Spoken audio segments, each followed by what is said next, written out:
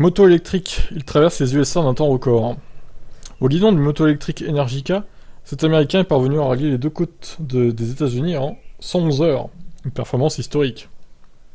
Le 22 avril, date de la journée de la Terre, Rob Swartz et Stephen Day se sont lancés un défi un peu particulier, celui de traverser les US au guidon d'une moto 100% électrique.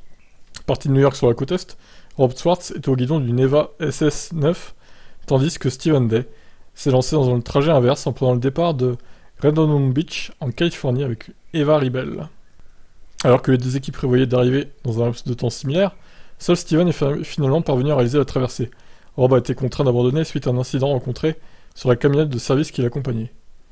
Ah bah bravo Au total, il a fallu 111 heures à Steven pour traverser les US, d'ouest en est, soit 4677 km.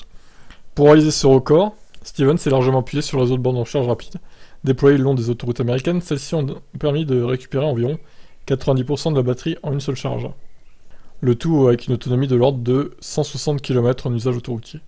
Steven Dunn n'est pas le premier américain à traverser les US avec une moto électrique. Fin 2021, Scott, Scott Harkless était déjà parvenu à boucler la traversée avec une 0 SRF. Le périple avait duré 112 heures mais sur un parcours un peu plus court, 4095 km. Oui, effectivement.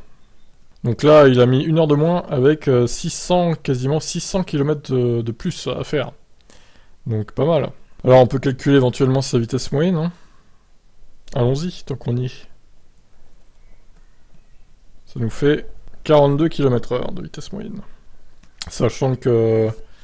Sachant que ça prend en compte les recharges, j'imagine. Par contre, évidemment, ça prend pas en compte les pauses... Euh, les pauses dodo, hein, il n'a pas conduit euh, pendant 111 heures d'affilée, forcément.